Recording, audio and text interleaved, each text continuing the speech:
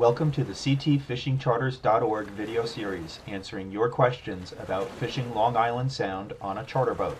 Today, Captain Doug Parker of the Good Company 2, New London, Connecticut answers the question, what happens if there's rain in the forecast?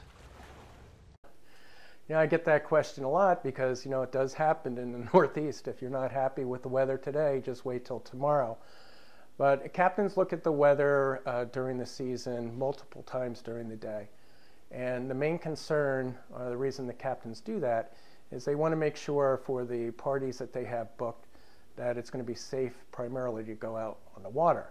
If it's raining, our favorite expression to customers is, listen, the fish are already wet, the rain's not going to bother them. But you know, for a good day on the weather, it's important, or on the water, it's important that you uh, that you prepare for conditions. We do go out when it's raining, and some have said, you know, uh, actually sometimes when the barometer is dropping and there's rain in the forecast, the fishing is actually better.